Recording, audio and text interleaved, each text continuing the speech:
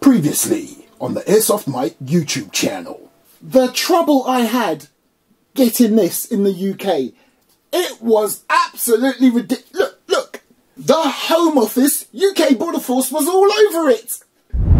Ooh, welcome back to the channel everybody. I am laughing because I made a mistake.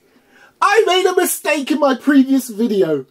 I called it a Gen 2. No! I called it the second attempt. No! I called it the second version. No! No! This is another Airsoft Mike production. This, my airsoft friends, is even better than the second version because this is version 3, the third batch. Not two. What was I thinking? no, son. Right, so what I'm going to do, forget everything I said, well, not absolutely everything I said, in the now deleted video that I had up before. Forget what I said about the order of things I'm going to do. I did say video number two would be me showing you the differences between this new version and the version that was giving people problems in the past. Well, what I'm to do is I'm just to completely do everything in this one video, okay? So what I want to do first, get this out of the way because I know this is what most of you have come back here for, or the new ones who are watching this for the first time. I'm to show you around this beautiful piece, then I'm to do an accuracy test and a chrono test, but not in that order. Right now, let's get into this beauty. Now, Northeast being Northeast Airsoft, you know when they make something, the way it looks is going to be absolutely legit. Remember the couple of stings I did? Yes. So it goes without saying, this entire thing Okay, we're not talking about this extra kit that we've got in there at the moment. I'm not talking about that. Just keep in mind the original configuration. That comes with the original charging handle, the original stock, the original foregrip. So I am talking about it in its original look, which I will revert this back to at some point. Don't you worry about that. Even though I think this is super cool. Some people think it's ugly. Doesn't matter because not everything is for everyone, okay? Right, now, this entire thing is made out of steel. So far, from what I can see and tell and what I've read, the only thing that isn't made out of steel is the breech block and the barrel base, okay? Those are aluminium or aluminum, but everything else is steel. Now, I would use a magnet to show this, but the last time I used a magnet to show steel parts on an airsoft piece, I got criticised. People were jumping in the comments saying, uh, uh, uh, uh, uh, well, they wasn't doing those noises. They were saying, not everything that's magnetic is steel. Duh, didn't you go to school? Damn. Of course I know that. But it's just a good way to show. Anyway, I saw somebody else's video on a similar piece that I had reviewed. They did the same thing and not one comment in the comment section was criticising them for using a magnet. But you see me, I get treated differently. But, but, but, but, you're... Anywho, what I love about this are the authentic markings. Come on, would you look at that? Decent. Not a single mention of the hobby we love. okay, and then we get to the actual selector switch. To the uneducated in German language, that says DES, okay? D-E-S. Obviously, the other way around, S-E-D, that's safe, semi, full. But now, you know I like to attempt things I'm not normally familiar with. Um, apparently I said Bundeswehr quite well. So let's try this now. What is this in German? S. Sicher? Sicher? Or sicher? Sicher? Anyway. And then E. la la la la la la.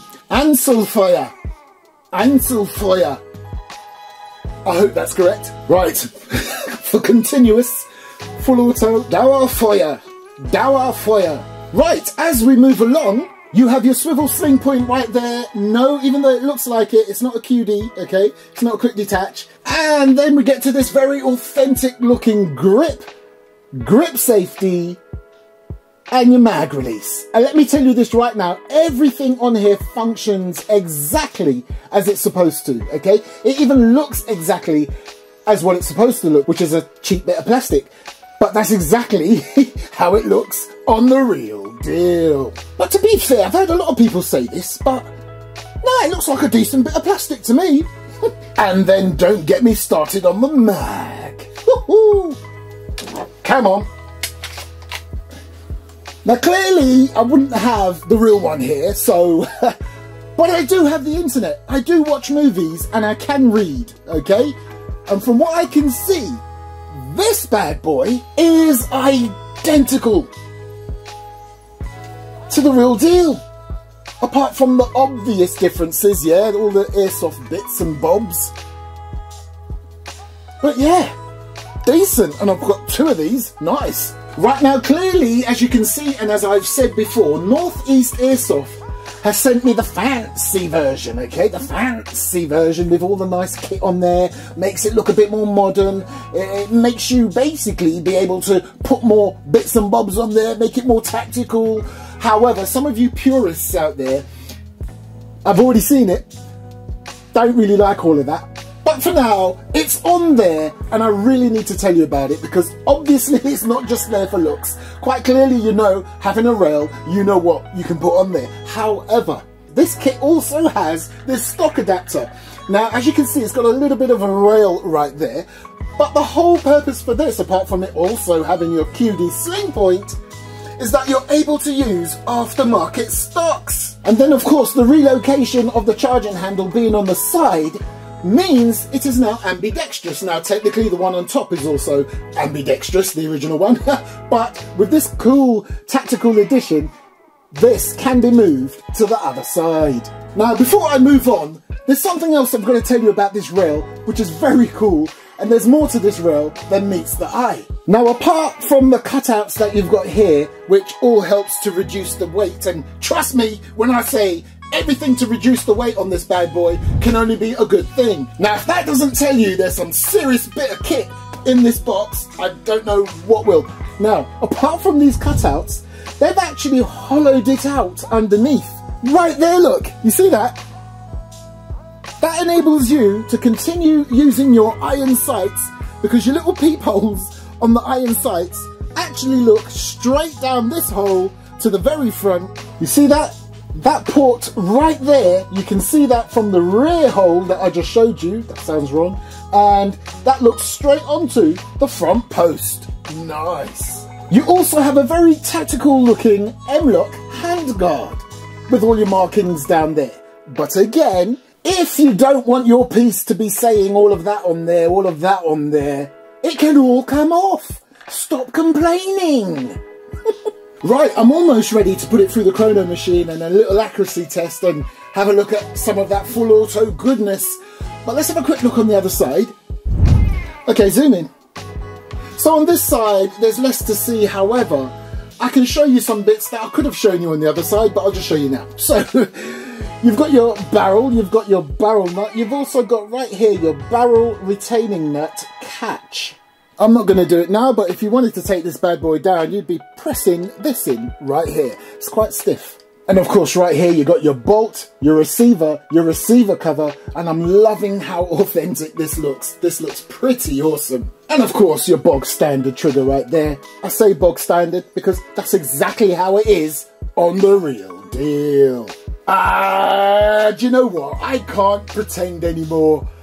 I'm not going to go through this whole video without taking it back to the original. Come on, look at that bad boy. That's exactly what I want. So yes, I actually whipped off the, the kit, which again I think is very cool. But come on, especially for me, with my whole movie making thing and props and stuff, we all want that iconic look. Come on. I mean, how many movies and shows has this bad boy been in? Uzi 9mm. But as you can see, I've put the original stock back on and it looks mixy. Come on. now, who doesn't want to do that when deploying this stock? Oh, look at this bad boy. Come on.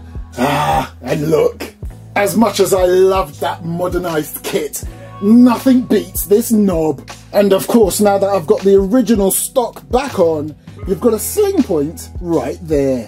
Right now, when it's on safe, That won't move. Very nice. Take it off. Come on! The bolt is now completely open and if you take a closer look, oh, you could probably get to your hop adjustment there. No, what you've got to do, mag out, you press in this retention right here for the barrel nut. You unscrew said barrel nut. Remember, this is to do the hop up. and then you pull out the barrel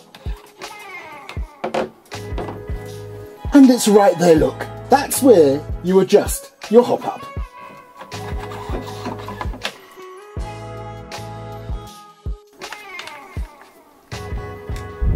right let's get some gas in I'm using green gas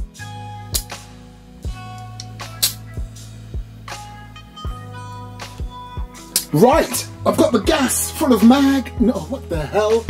Right, I've got the mag full of gas and I've filled it with BBs. It's a 32 rounder. And by the way, as we're looking at the mag, that little switch right there is to activate or deactivate the bolt stop. Right, excitement overload. Okay, let's get the mag in. I am not left-handed, but for the purpose of this angle and me filming, it's in my left hand. Oh, oh. Now, first things first, gotta take this bad boy off safe. Oh my gosh, that is stiff. But I suppose that will loosen up after a few battles on the airsoft field or in one or two movies. Now, this is what I want, not this side Ujima flips. I want this on top. Come on! Did you see that? Okay, and look, you can see the first BB waiting to leave the barrel. Oh, feels really weird holding it in my left hand. Ooh, okay. That was nice and crisp. I must admit though, I was expecting a harder kick from this thing. But anyway, nice and crisp. Let's just do that one more time before I chrono it. Right, who's to have a quick guess at what the first one is to read at? Here we go. Got my eye protection on. 299.2 and that I am happy with. Now you might be thinking, huh? No, don't go, huh? I am happy because I know this bad boy generally out of the box is a lot more hotter than that.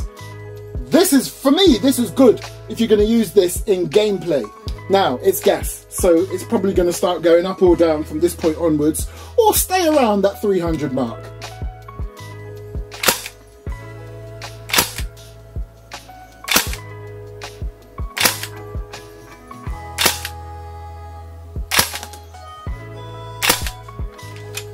And there you have it. I'm going to be generous and say you're going to get around the 300 mark if you're getting the UK version. Now, if you know what you're doing, there are ways to make this a lot hotter. But keep it legal though, if you're in the UK. Now, if you're in certain other countries, um, I believe like in, let me see, is it Hong Kong? And possibly America, I'm not sure, I'm not sure. But when you buy one of these bad boys, they will come out of the box slinging BBs through the chronograph of anything up to 4 450 FPS. Right, I'm actually going to do full auto on this one because the bolt isn't that heavy. So it really doesn't shake around or anything and there's no risk of me hitting or ricocheting off the edge there. Right, let's go full. right, so we're looking for about 12 per second.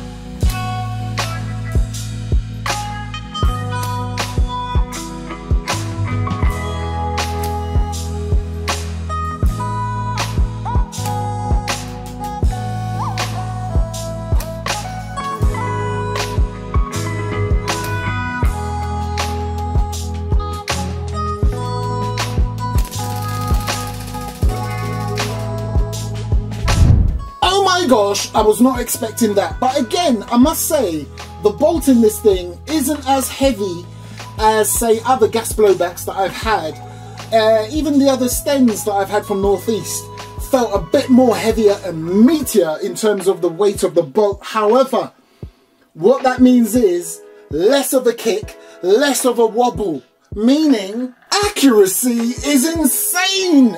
Look at that. Perfect, perfect, perfect, Look at that. perfect, perfect. The groupings are delicious. Nice. And even on full auto, where you have to pray and spray, everything kept within that very small target area. Decent! Or is it spray and pray? Anyway, right. Those of you that know my setup know that I'm in a very small studio. There's a door that I have to walk through, go down the corridor to aim at the target system. No one's here today on the plot of land where my little studio is. So there's another door which I'm usually not allowed to go through. I'm going to go through it so that I'm even further back from the target. And this is a first for this channel, apart from when you see me do ones outside. I've done one or two accuracy tests in a private, uh, on a private farm and in a field. But indoors, this is going to be the furthest I'm going to go back, and we're going to do the accuracy test again, just to be transparent.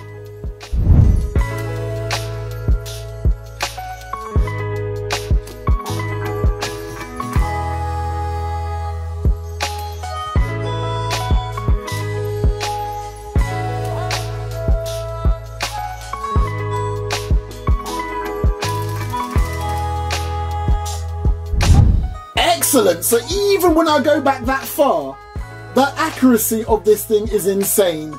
But obviously, obviously not as good as when I was much closer.